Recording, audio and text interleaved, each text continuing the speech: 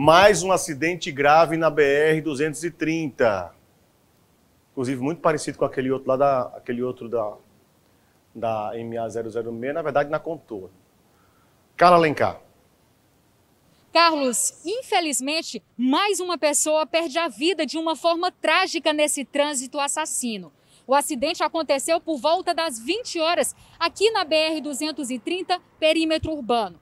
Segundo informações de populares, João Batista Costa estava pilotando uma motocicleta quando foi surpreendido por uma carreta. O homem de 40 anos não suportou o forte impacto do veículo pesado e morreu ainda no local. Ele teve o corpo esmagado pela carreta bitrem.